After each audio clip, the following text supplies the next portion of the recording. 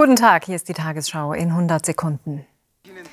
Fernsehstar Elmar Wepper ist tot. Er wurde 79 Jahre alt. Bekannt wurde der Schauspieler unter anderem als Kriminalhauptmeister in der Serie Der Kommissar. Erfolge feierte er außerdem als Hauptdarsteller im Kinofilm Kirschblüten Hanami. Elmar Wepper ist der jüngere Bruder des TV-Darstellers Fritz Wepper.